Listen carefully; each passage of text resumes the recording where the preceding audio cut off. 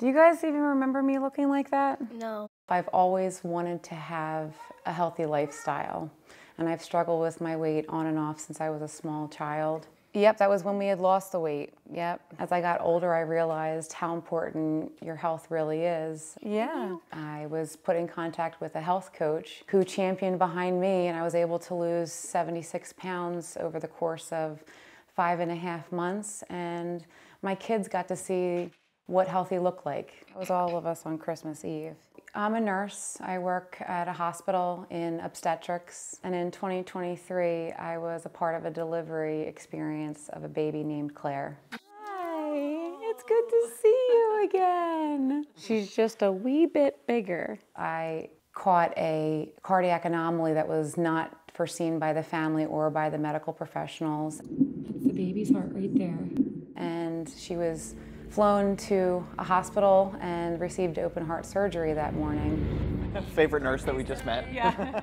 that day, um, her parents and I talked a lot about our lives and shared some of the things we had to look forward to that year, and the Broad Street Run was one of them. And that was something that was in my bucket list to do before I turned 40. I was committed to doing that for you too. I was slotted to run the race with Claire's father, Ken, and um, was sidelined by a diagnosis of lymphoma. I was working hard.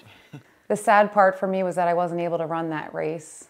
And Ken said to me, I'm going to run the Broad Street race for my baby and for the nurse that saved her. You're both what pushed me to be able to finish that race strong. I'll always be thankful to you for doing that for me.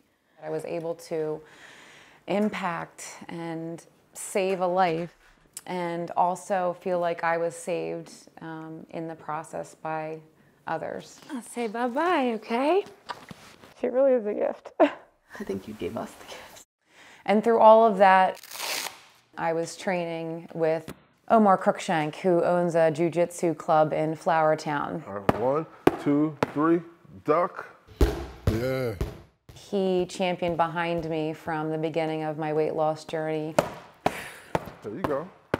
And once I was diagnosed with cancer, Omar kept me going. One, two, three, duck. There were some hard days going through chemotherapy, and I still showed up because I wanted to make sure that health maintained being that priority. Keep going. Just keep going after that. So I did six months of chemotherapy at the Asplundh Center, and in November, I received a PET scan that shows that there's no evidence of disease. Yes. Yeah, good job. So after experiencing everything, I decided to become a certified health coach and I want to continue to pay it forward how important health is and I hope to continue to champion behind others that want to have that opportunity to have their best lives.